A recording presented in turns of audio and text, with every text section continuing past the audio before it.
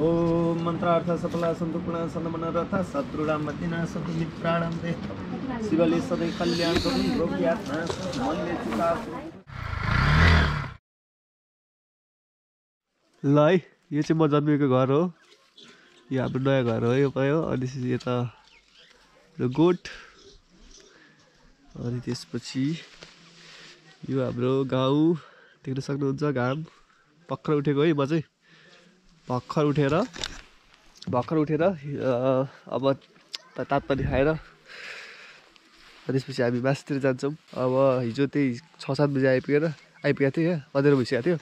अनि त्यसपछि अँध्यारो भइसके सकेको थियो अनि त्यसपछि खानासाना खाना सुतिहाल्यो। आज भर्खर उठेछु। अनि देख्न सक्नुहुन्छ यो नजारा।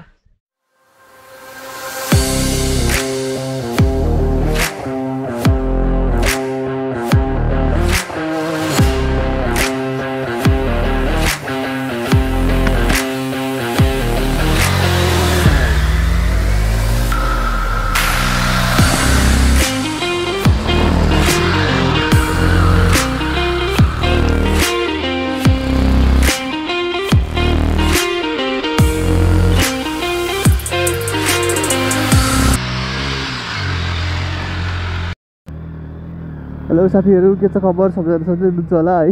म पनि सन्चै र आज म जाँदैछु दुप्चेश्वर मन्दिर है। अब यहाँदेखि कति किलोमिटर होला भनेर चाहिँ मलाई पनि थाहा छैन। अब हामी यो आज यो हाम्रो घरको बाटो हुँदै पहिला चाहिँ थप्लेक निक्लिन्छौँ थप्लेकबाट ओह्रालो लागेर सात बिसे सात बिसेबाट चाहिँ अगाडिको बाटोतिर जान्छौँ हामी। हेरौँ कस्तो छ। यात्राको बाटो भन्ने कुरा हो। यो बाटो त म फर्स्ट टाइम हिँडिरहेको छु है। ठ्याक्क। मिटर पनि मैले जेरो बनाइसकेको छु। भर्खर भर्खर खतेको जस्तो बाटो छ यतातिर। यो चाहिँ हाम्रो गाउँ। यहाँ अघि राम्रोसँग देखाइदिउँ न होइन? ऊ त्यहाँ ऊ त्यो माथिको चाहिँ हाम्रो घर यो चाहिँ हाम्रो बाबा घर देख्नुभयो? ल त्यही हो। र आज राइडमा जाँदैछौँ डुप्चेश्वर मन्दिर। अघिसम्म घाम लागिरहेको थियो अहिले चाहिँ घाम पनि बादलले छेकिसकेको छ होइन? अब हामी पहिला पहिला के अरे जाडो महिनाको बिहा हुँदाखेरि आउँथ्यो कि यतातिर? प्रायः जस्तो रेगुलरै हुन्थ्यो वर्षै आउँथ्यो स्कुल पढ्दा। अनि त्यसपछि बाबाको घर घरमा चाहिँ बाख्राहरू पाल्नु हुन्थ्यो। त्यो बाख्रा अनि हेर्नुको लागि चाहिँ हामी यहाँसम्म आउँथ्यो बाख्रा चराउनलाई यहाँतिर। अनि त्यसपछि उयाँनिर झर्ना छ एउटा बवाल झर्ना र स्विमिङ पुल पनि यो नेचुरल स्विमिङ पुल प्लस झरना। त्यहाँ गएर दिनभरि त्यहाँ चलाउने अनि गरी भएपछि त्यहाँ गएर पौडी खेल्ने। यस्तो रमाइलो हुन्थ्यो कि। पहिला यस्तो बाटो थिएन। बाटो खनेको पनि धेरै भएको थियो कति भयो होला? तिन चार दुई तिन चार वर्ष भयो कि। अहिले चाहिँ बाटो कस्तो छ भन्ने कुरा हो। अब हामी चाहिँ थप्रेक गरेर भेट्नुहुन्छ होला साथीहरू। है? ओ माई गड ठोक्यो मजाले। आजको हाम्रो फर्स्ट रिभर क्रसिङ आउँदैछ साथीहरू। यसलाई भन्छ ठाडो खोला। र झर्ना यो यस्तो मासतिर छ। अनि स्विमिङ पुल त्यो माथितिर छ। अहिले पानी छैन। त्यस्तै छ। आजको फर्स्ट वाटर क्रसिङ हामीले पार गरिसक्यौँ। अब यहाँदेखि अगाडि बढिन्छ हाम्रो यात्रा। उफ झन्डै यात्रा। झन्डै यात्रा। झन्डै यात्रा त्यस्तै भएको लडेर क्या चिप्लिरहेको छ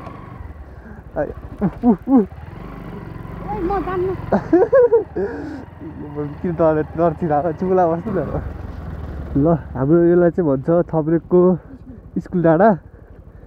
अनि त्यसपछि यो पनि पञ्चकर्णे गाउँपालिकै पर्छ है। अनि यसलाई चाहिँ भन्छ थप्रेकको ओह्रालोबाट लाग्दैछौँ अब हामी। अब ओह्रालो हुँदै अब हामी सिधै तल।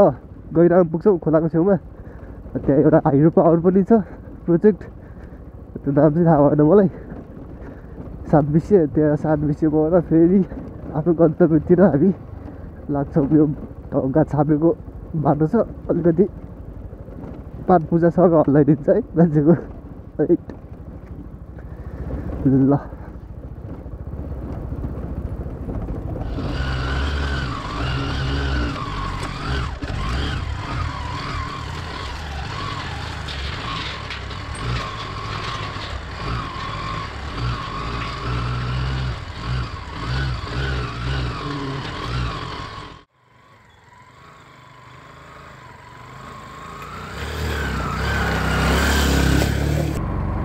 यो बिसे बजार ट्याक्क आइपुग्यो। लगभग लगभग साढे नौ किलोमिटर जति रहेछ। अब यहाँदेखि तुफान बाटो राम्रो पिछे सस्तो छ।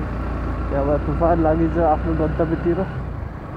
यहाँ बहिनीहरू बहिनीहरू स्कुल जानलाई हिँडिरहेको छ है। देख्न सक्नुहुन्छ यहाँ बजार। कस्तो लाग्यो तपाईँहरूलाई बजार? यसो कमेन्ट गरिदिनु होला पहिला पहिला चाहिँ पहिला पहिला त अहिले पुरा घर घर भइसक्यो त्यो घरहरू हाँसै मिठो फेरि पहिलाहरूको यहाँबाट कहाँ पुग्दो रहेछ फेरि?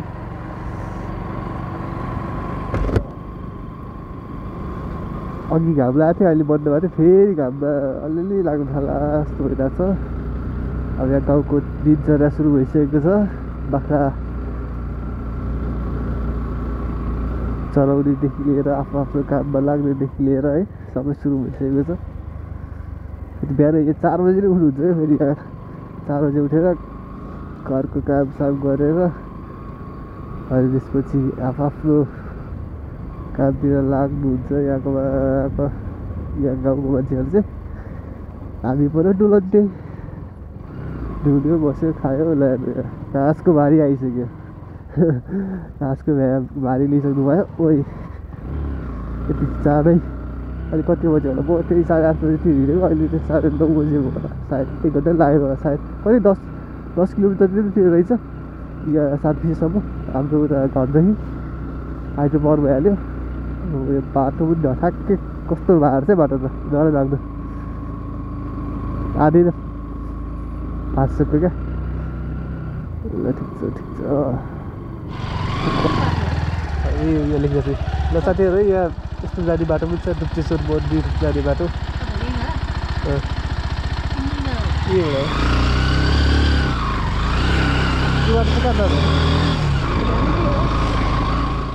ल फाइनल्ली अब हामी आइपुग्न लाग्यो। देखिसक्नु होला तपाईँहरूले। त्यहाँ माथि ओइ कस्तो उफारेको। अब्बा टुप्लेश्वर महादेव मन्दिर देखिसक्नु होला। अझै वाटर क्रसिङ आउँदै रहेछ। साइडमा चाहिँ छ खोला अब मैले सामानहरू चाहिँ सबै किनिसकेँ। दुध चाहिँ घरदेखि नै लिएको थिएँ। बाइक राख्ने चाहिँ कहाँनिर हो?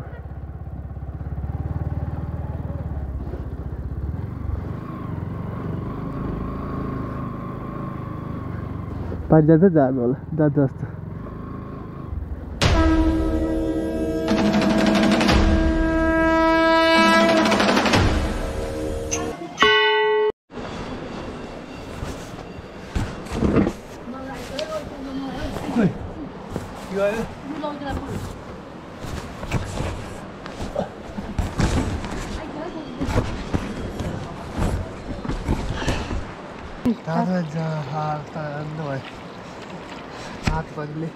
ओम नमः शिवाय नमो नमः। शिवले सधैँ कल्याण गरून् रोग यात नाश होस् आँटिया काम सफलोस् मनले चिता कुरो पुगोस् भगवान् दुप्चेश्वर महादेव कृपाले सोचे आँटिया कुरा पुगोस् शान्ति कल्याण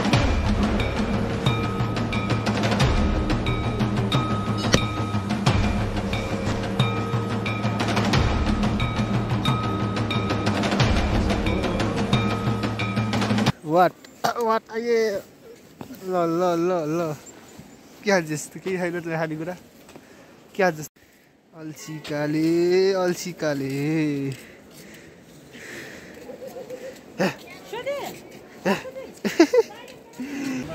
साथीहरू है अब दर्शन गरेर अब चाहिँ अब खाना भोक लागिसक्यो बिहानदेखि के खाँदैन तरकारीको झोल तरकारी झोल चाहिँ सही चाहिँ देखाउँदो रहेछ तरकारीको झोल एकदमै झोलै झोल छ र दुइटा सेल बोकाएको छु अब त्यो खाँदैछु ल साथीहरू है अब हामी आएर पूजा पूजा पनि गरेर अहिले हामी निस्किन लागेको हो। र यहाँको यहाँको देख्न सक्नुहुन्छ इन्भाइरोमेन्ट कस्तो छ भने एउटा झुलुङ्गे पुल छ। झुलुङ्गे पुलमा अहिले म आइरहेको छु है। अनि त्यसपछि हाम्रो गाउँदेखि चाहिँ यहाँसम्म चाहिँ लगभग लगभग बिस किलोमिटर जति रहेछ। त्यो टाढा पनि होइन यस अब एक घन्टामा आइपुग्ने बाटो हो। तर बाटो त्यति साह्रो राम्रो नभएर जस हामीलाई चाहिँ लगभग लगभग डेढ घन्टा जति लाग्यो। अनि अहिले झुलुङ्गे पुलमा छौँ अहिले हामी माथि देख्न सक्नुहुन्छ। मन्दिर मन्दिर चाहिँ हाम्रो माथि टिप्पोमै रहेछ है। टिप्पो तर यता- यता होइन। यता यतापट्टि यता माथि देखाउनु त यता। अन्त माथि टुप्पोमा छ मन्दिर चाहिँ त्यही हो। अब यस्तै यस्तै हाम्रो कन्टेन्टहरू हेर्नको लागि चाहिँ है मोटो प्योर मोटो ब्लग कन्टेन्ट हेर्नको लागि चाहिँ यो च्यानल सब्सक्राइब गर्नु होला है। अनि भिडियो मन परेमा सेयर पनि गरिदिनु होला लाइक पनि गर्नु होला कमेन्ट पनि गरिदिनु होला। अँ, त्यही हो भन्दै अब आजको लागि बिदा हुन चाहन्छु है। Thank you so much for watching my video